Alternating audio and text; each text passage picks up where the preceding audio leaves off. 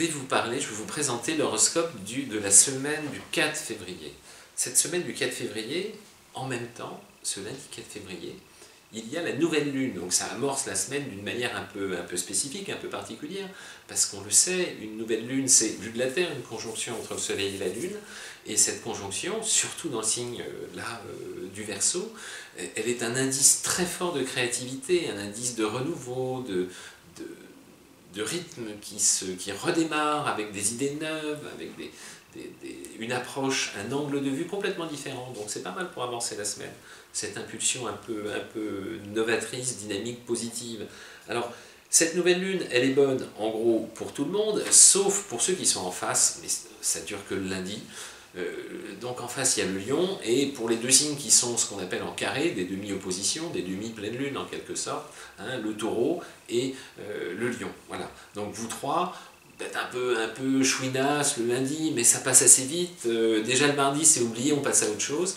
Voilà, j'étais le, seul remarque sur cette singularité planétaire de la semaine, cette nouvelle lune. Et puis il y a maintenant aussi des planètes qui sont complètement en transformation dans le ciel. Par exemple, il y a l'entrée de Vénus qui, euh, qui quitte enfin le Sagittaire où elle était depuis très longtemps. Donc au revoir les Sagittaires pour Vénus et elle entre en Capricorne. Vénus, c'est la vie amoureuse, ça fait partie des terrains, des, des questionnements, des, des zones qui nous intéressent le plus, il faut être lucide. Et, Vénus qui rentre dans le Capricorne, elle va déjà dans un premier temps faire beaucoup de bien au Capricorne, mais aussi aux deux autres signes de terre avec qui elle forme ce qu'on appelle les fameux trigônes, les angles de 120 degrés, qui protègent, qui apportent les bonnes énergies. Donc c'est bon pour les Capricornes, pour les Vierges et pour les Taureaux. Taureau, ça tombe bien, c'est la planète maîtresse du signe avec la Lune, donc des influx de Vénus pour vous trois, ça va vous rendre plus doux, plus sensuel, plus charmant, plus gourmand aussi. Hein, les signes de terre, souvent, euh, on aime bien les bonnes choses euh, à manger, à boulotter. Donc attention, prudence quand même, pas toucher à l'excès.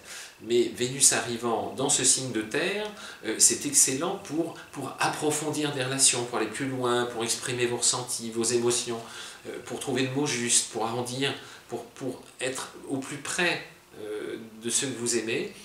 C'est un très bel indice, il faut en profiter, il faut donner, mettre en place, déclencher, euh, prendre l'initiative. C'est très bon sur le plan affectif pour les signes de terre. Par un jeu d'extension, c'est bon aussi pour les, signes qui sont sensibles, donc pour poisson, pour scorpion. Euh, poisson, c'est aussi une planète qui est très heureuse chez vous, Vénus. Euh, les Vénus en poisson ont un charme, une délicatesse, une finesse, un ressenti, une intuition qui sont tout à fait délicieuses. Donc des bons aspects de Vénus, ça vous fait que du bien. Euh, les scorpions qui sont plutôt des martiens, un peu de, rondeur, euh, n'est jamais du luxe, euh, pour que ça passe mieux au niveau du sens, du contact, de la, chaleur, du relationnel, de la peau. Quoi. beaux de Vénus, c'est bon. Voilà. Vénus, c'était important, je voulais vous en parler comme il se doit. Je vais également vous parler, de, avant que je termine pour Vénus, un peu prudence pour les cancers, les béliers et les balances ou très légère tension, très léger excès qui pourrait se traduire par, euh, par une impatience, notamment chez le bélier, ou, des agacements chez le cancer, ou, une sensibilité à fleur de peau chez la balance. Mais rien de grave, les aspects de Vénus sont jamais vraiment mauvais. Quoi. On touche juste à l'excès ou la sensibilité qui est un poil plus marquée, c'est tout, pas bien méchant. Mercure excellent, Mercure en verso, Mercure en verso, qu'est-ce que ça donne?